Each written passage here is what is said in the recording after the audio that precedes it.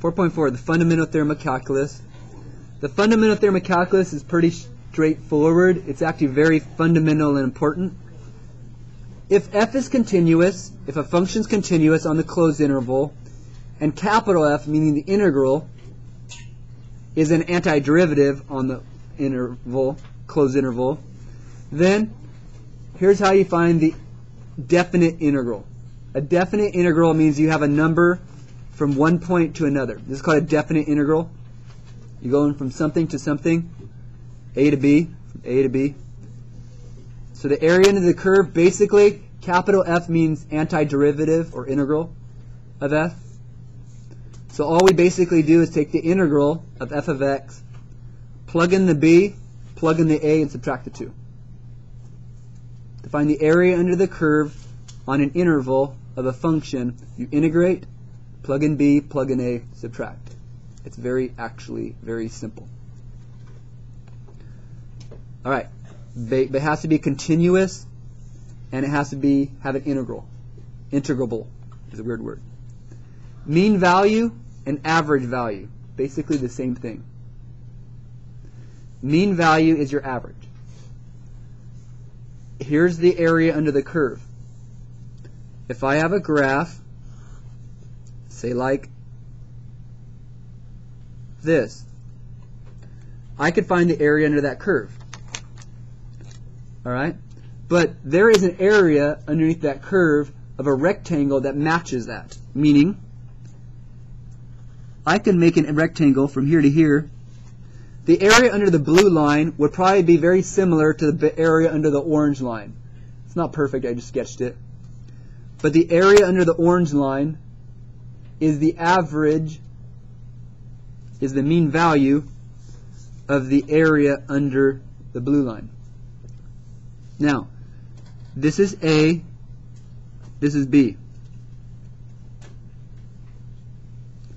This length of a rectangle is A minus is B minus A, right? Isn't that simply B minus A? B minus A? This height is f of c. Isn't the area b minus a times f of c? There is some rectangle, you can make some rectangle that has that same width, b minus a, but has a height f of c. That would equal the area of the blue shape. So there's some rectangle that matches the area of the blue shape. That f of c is important.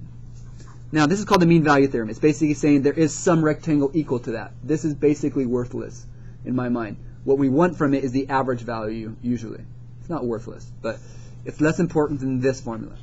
Now, all they did is took this formula and changed it to get this formula. All they did is simply,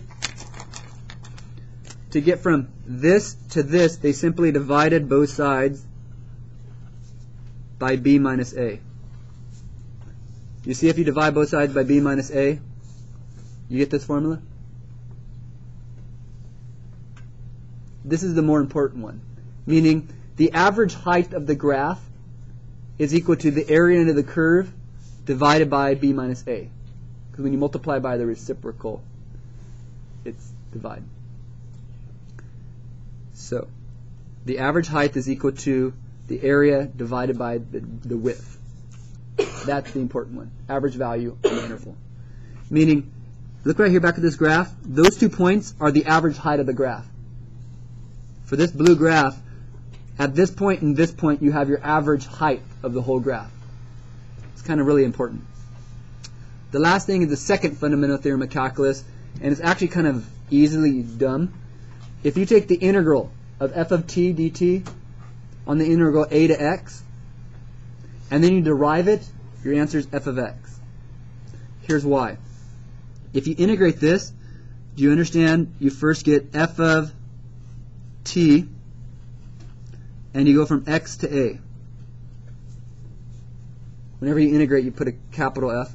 Anyways, to do this, you now have f of x minus f of a. Okay, that equals the inside. Now when you derive this, What happens when you derive this? Well, you derive this, okay. You're going to ddx this. What's the derivative of this? If you take capital F and you derive that, doesn't that take you back to lowercase f? If you take an integral and you derive it, it takes you back to your original.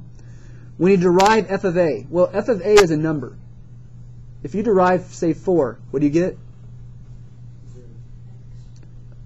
Sorry, let me start over. This is the integral. Yeah.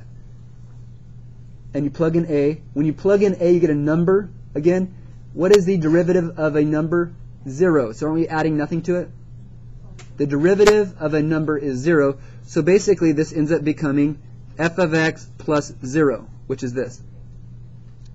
You don't want to do all this mess I just showed.